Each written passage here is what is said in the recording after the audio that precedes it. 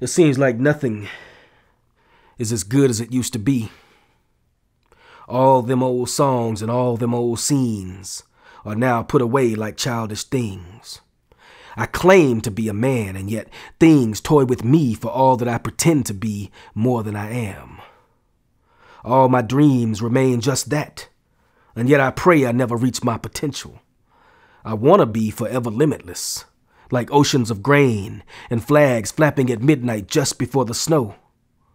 Some pain is sweeter than can ever be known or expressed, like how I can feel the absence of all of those who came before me. I can see their portraits turning in my mind like a wheel in the sky. African, Welsh, and Kiowa Comanche locking arms in my DNA, dancing, pausing briefly to rest here a while. Oh, child, things ain't gonna get no easier. It's all on you. So who you gonna call and what you gonna do? Probably just what I was born to. Spit, scrap, and fight. Just because the stairs ain't made out of crystal don't mean I'ma lay down on a silver platter and submit to these vultures and parasites above me. May God bless and keep everyone I love and all of those who love me.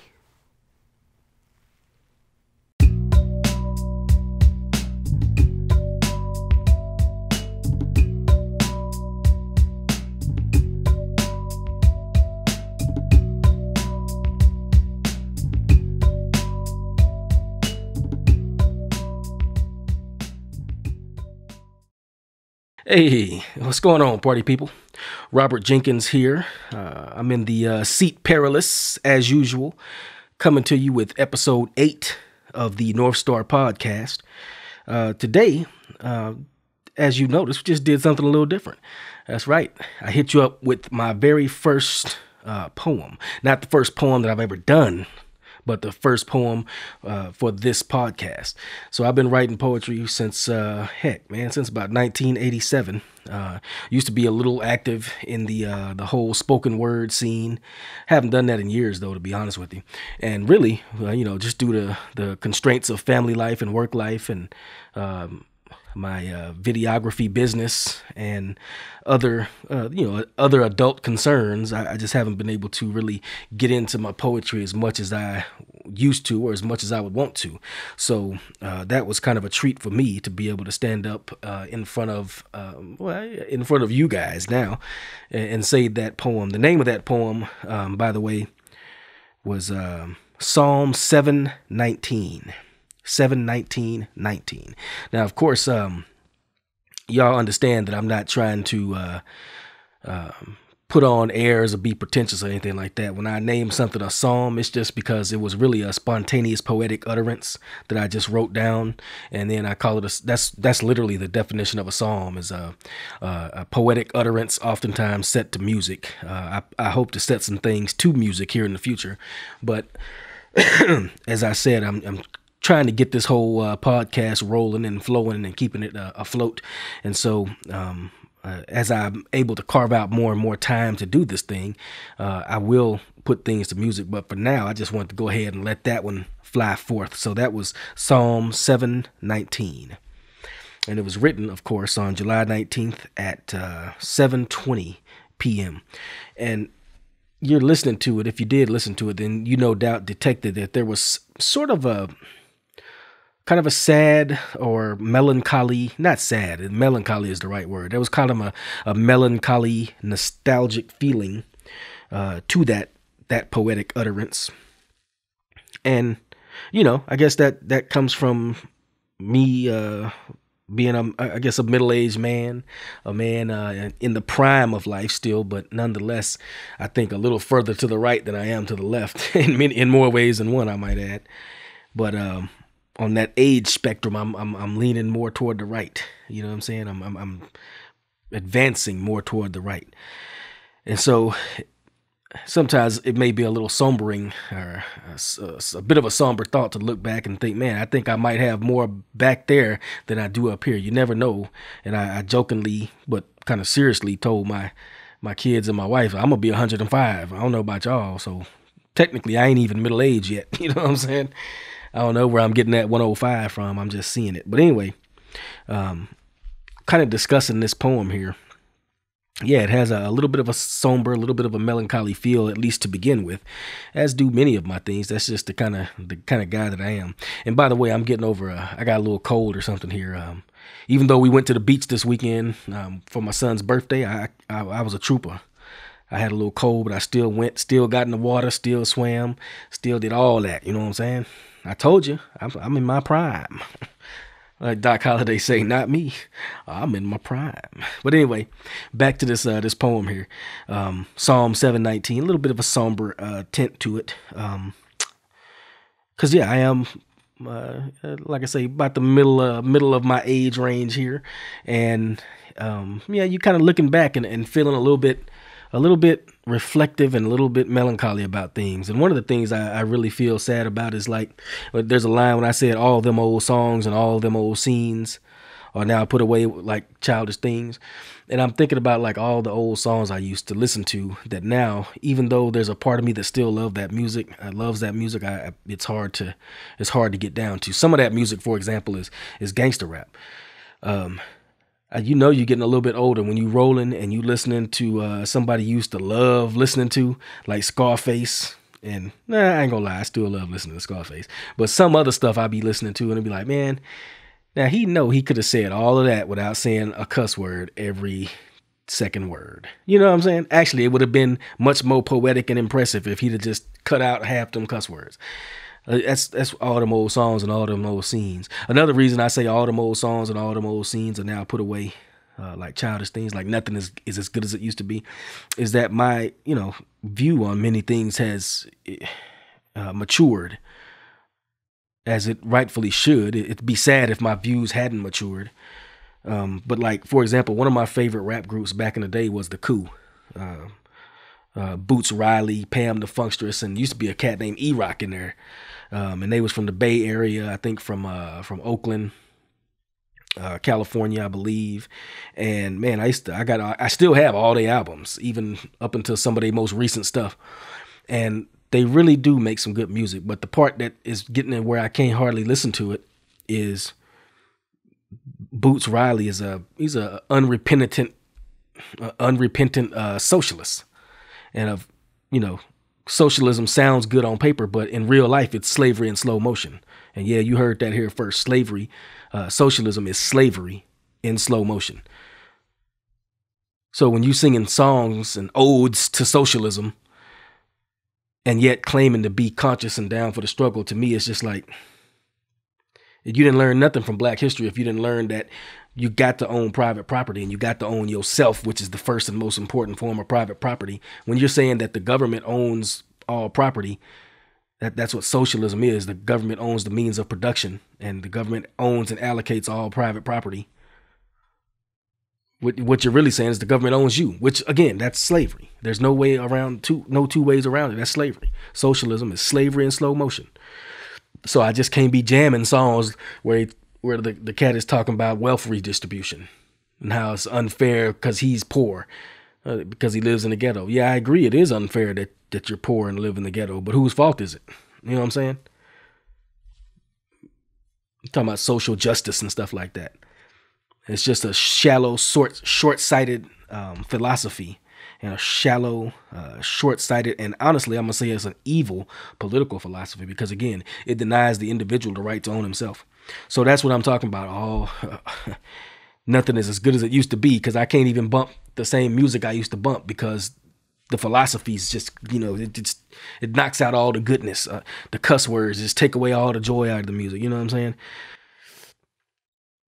And of course there's the the kind of the next verse or whatever you want to call it. I say I, I claim to be a man and yet things toy with me for all that i pretend to be more than i am. And um that's just I don't know it's a temporary sometimes feeling of helplessness. Sometimes the best laid plans of mice and men often go astray i think that old saying goes. And that's that's all that verse um, uh, kind of alludes to or refers to. Um, i say all my dreams remain just that and yet i pray i never reach my potential. I do feel like i've accomplished quite a bit in life but i still feel like that i have a lot more to offer. And so that's why i think my dreams are still um, they they they truly exceed my grasp right now. They're they're probably I think they're within reach, but they exceed my grasp.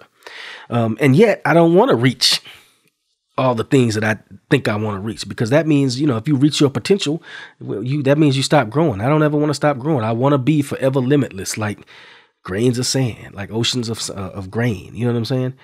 And when I when I wrote that um, line, I want to be forever limitless, like oceans of grain and flags flapping at midnight. Y'all remember back if y'all um, if y'all are in my same age cohort, you no doubt remember back when TV used to actually go off at night. See nowadays, cats don't understand. These young kids, they like TV is twenty four seven and has been for decades probably, but back in the 80s, 70s, and 80s, TV went off at about midnight on weekdays, I think it was, and uh, 11 or 12 on, on weekdays, and like one or two on the weekends. And when it went off, y'all remember they used to play "Oh Say Can You," but it was it wasn't singing; it was just mm, and um, the Star Spangled Banner, I guess it was um, the national anthem, and nobody was kneeling to it. You know what I'm saying? But they had that commercial. They had the visuals that accompanied the music, and it was those oceans of grain from sea to shining sea. You know what I'm saying? And it had the tractors rolling through the fields and the thunderbirds flying through the sky, the jet planes leaving the the uh, the contrails, not the chemtrails, the contrails. And yes, chemtrails is a thing. I didn't sink them. We'll talk about that some other time too. Talk about how you know some pain is sweeter than can ever be known or expressed, like how I can feel the absence of all those who came before. Now, once I get my studio complete here, y'all will be able to see some of these more uh, more of these pictures on the wall back here. But right now, you see my my dad right there. That's when he was in the military. He's still alive, and I praise, you know, thank God for that because he was a huge influence on my life. These are all my my influences back here. You see them. Um, but I, I'm praising. I'm kind of. It's a little sad and nostalgic and melancholy when you think of all the ones that have passed before you, and you can't see just outside my dad's picture right here. This is my grandfather, uh, Robert Jenkins III, and above him is a gentleman named Nugent Jenkins, and uh, I'll show you those pictures at some point. These cats like that, my grandmother, Grandma Dorothy, um, Grandma Martha, um, uh, Uh, Grandpa McLeod, just Grandpa Raymond. I had a lot of great grand uh, grandparents and great grandparents. I never really knew my great grandparents, but I was blessed to know almost all of my grandparents. Uh, I think the only one that I missed, no, I didn't. I, I don't think I missed any of them. I, I missed my great grandparents, and that's a blessing. So I'm primarily thinking of those people when I say, you know, I can see all those faces turning in my in my mind like a wheel in the sky. That song, who was that? Uh, that journey, a wheel in the sky keeps on turning. Like I said, I got a little cold here. Normally I'd be blowing. No, I don't. I can't sing, but that song is still tight though. Steve Perry. So I kind of, I kind of was feeling that when I wrote that line, you know. Um, in the next verse, I say that there was African, Welsh, and Kiowa Comanche locking arms in my DNA dancing. Well, that's of course that's a pretty straightforward um, recitation of my family tree or my heritage. So obviously I'm black. Obviously I got a little white in there. Jenkins, John Kin is what that name comes from. Jenkins. If you ever listen to white people say Jenkins, when they say it really properly, you can tell they're actually saying John's kin. Because I because I've heard people say Robert Jenkins. Robert Jenkins. Uh, being a Texan, I say Jenkins. And if you catch me uh, when I'm feeling real good, I say Jenkins. But it's really John's kin, Jenkins, Jenkins, Jenkins, Welsh is where that comes from. So I'm kin to somebody named John, which is ironic because uh, the gentleman that you see on on the podcast, uh, sitting back with the uh, old school ham radio, his name is John Laurie. That's my grandpa on my mom's side. And so, yeah, I am John's kin. And yeah, those are some of the African Welsh and Kiowa Comanche. That gentleman was, uh, to the best of our knowledge, he was half white and half black or something like that because he was very light skinned, uh, gray eyes, probably grayish brown or sandy brown hair. Um, he was a cold blooded dude too, man. Uh, just like my, all my grandpas was cold blooded men. And the the thing about them is none of them were educated. Grandpa Raymond, Grandpa Robert Jenkins Sr., uh, Grandpa John Laurie. Uh, the only one of my grandfathers that was actually educated was um, Albert McLeod, and that's my my stepmom's just Wells to say my mom's dad, and he was from Minnesota. He was an educated gentleman. I think, matter of fact, I think he was from New York, and they we kind of have some cloudy history there too. But these are the faces, nonetheless, that I see turning in my mind like a wheel in the sky. And this is where I'm getting that African, that Welsh, and that Kiowa Comanche. Um, because apparently on the on my grandmother's side, the Parker side, we had a lot of Indian in us. That's what I'm, that's what I'm told. Now I'm also told that it's a myth that every black person you meet say they got some Indian in them, but the people who are um, Henry Parker's sons and daughters, my grandma and her sisters and brothers, said that he was an Indian. So said they was he was red and he looked like an Indian, had long hair. So I guess he was, you know, I guess they know what their daddy was. you know what I'm saying? Um, I say, ooh, child, things get no easier. It's all on you. So who you gonna call and what you gonna do? Probably just what I was born to: spit, scrap, and fight. That's just my own personal um, inner fighting spirit. Something that I hope to pass on to my children. Something that um, uh, I hope finds its way through these screens and on to, to you, the viewers, uh, whoever might need some. You can get some. Get some of that fighting spirit and take it with you. You know what I'm saying? I think we got hard times ahead of us. We got everywhere we turn, everywhere we look is lies and obfuscation, and very few people seem to be interested in telling the truth anymore. Fake news is more than just something that President Trump say. The news, the news been fake for well, heck, the news been fake for uh, I know, far as I know, personally can verify since 1996.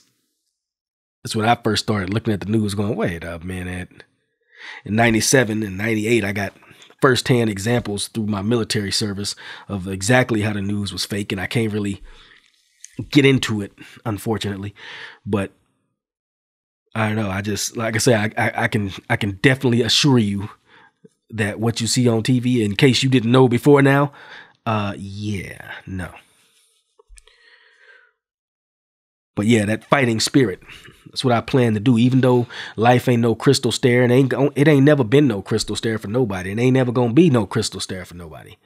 Even people that you think whose lives might be crystal stairs, rich, powerful people, they have their own demons and and and uh, internal battles that they fighting and some and many external battles. Battles. Who who was that said? The more money we come across, the more problems. Yeah, Puff Daddy. More money we come across. It's hard to believe, but money don't make you happy. You think it do if you ain't got none, but as soon as you get some, you still find that you be unhappy sometimes. Happiness don't come from paper, and this paper, by the way, is worthless. That's another show. I'm gonna get into that one too. But the point is, even though life ain't no crystal stair, I feel like in me, I'ma always spit, scrap, and fight. Just have that indomitable spirit and that indomitable, indomitable belief. Uh, just try to be undaunted by life. You, you can't get none of me. You know what I'm saying? And I hope that God will always bolster and keep that and nourish that flame in me and I'm I don't I don't say that to brag about it either. It's just a, a feeling that I've always had. It's just that internal fire. You know what I'm saying? That internal. I don't need no leadership. I don't need no guy. I don't need no nobody trying to help me. I appreciate people helping, but you got to have that that own. You got to have your own internal motivation and that internal glow. That's that spark of divinity within you. You know what I'm saying? You got to have that, man. And that's what I'm talking about right there. Life ain't no crystal stair, but I ain't just gonna lay down and submit especially not to the vultures and parasites, the evil, uh, the powers that be, the evil that is.